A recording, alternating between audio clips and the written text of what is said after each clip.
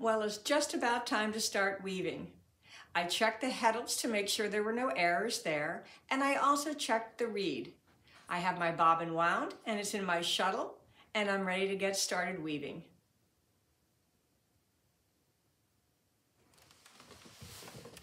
All right, from the last one, I did trim all of the ends off, so they're all trimmed. Like I said, my bobbin's ready, and this is with the brown. What I'm going to start doing, I'm going to press the treadle to uh, do the tabby one and three. And what I like to do is everyone has something different. I'm pressing with my left foot, so I'm going from right to left. It's just what I have gotten in the habit of doing. And what I do with the very first one is I tuck it in, wrap it over top of the end thread, the end uh, two threads if there's two on the end, and I put my uh, treadle down. Now in this case, as you can see, I don't have any filler. I used to do use filler and then another instructor, well-known instructor, suggested that that's not always necessary because we do want our yarn to find the spot that we're going to be using. And if we put filler in, sometimes that takes into a different level. Again, I used to do it, not doing it now, so you don't see it. So I just went the one direction. Now I'm gonna go the other direction. And again, I release it after I throw the shuttle.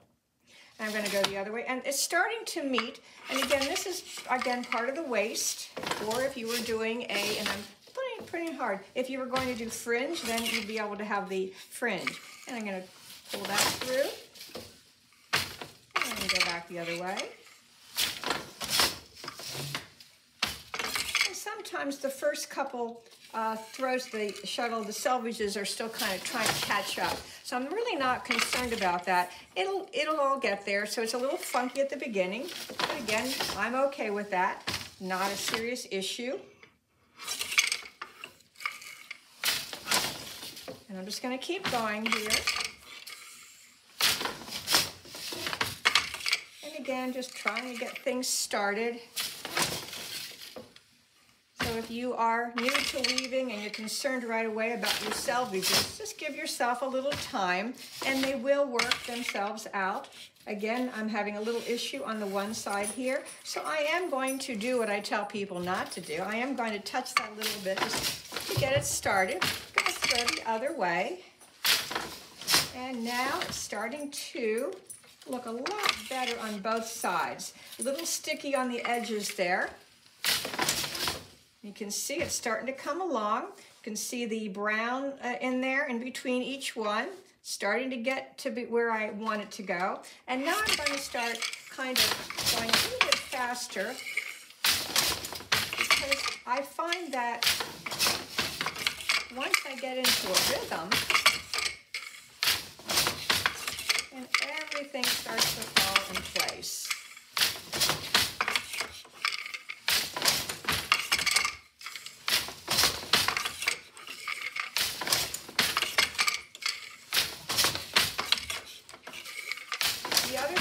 notice, I'm to pause for a moment. The other thing I notice is sometimes as you start to weave this part, until you start advancing and you get this rod over this part of the, the front beam, sometimes it's still, it's a little higher perhaps, or it's just not um, playing nice, I guess is what I'd say.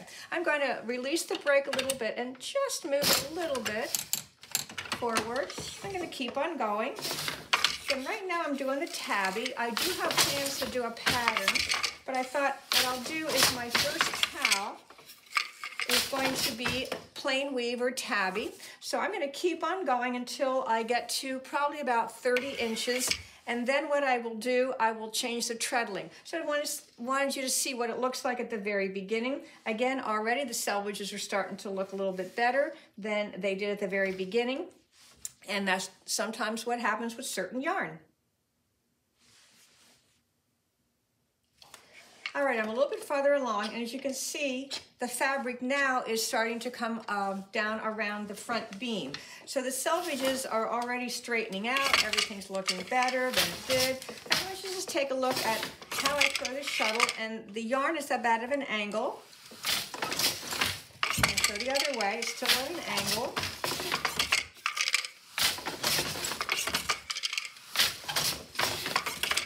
I do close with an open shed.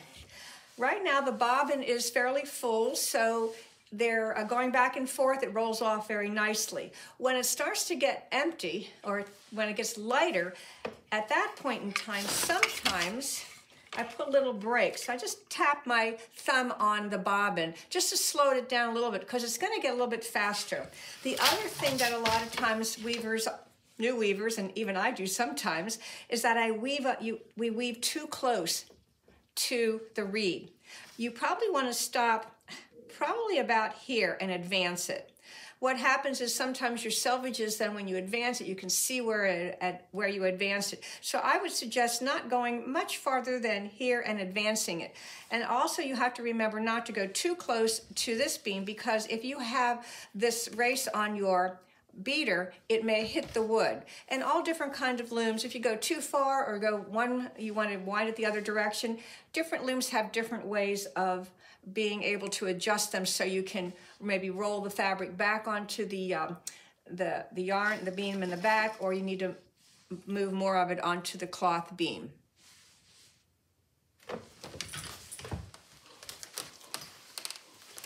Now, how do we keep track of how far we've gone? There are many different ways. Again, this is the way that I've that I do it. I usually go up to, and I do in 12. So I start where I'm going to be probably cutting that off. And I go to the 12 and I put a pin in there. Then I also have a little piece of paper that I mark a tally on and I would check it off and say I did one, a 12 inches. I also have this not under tension when I measure it.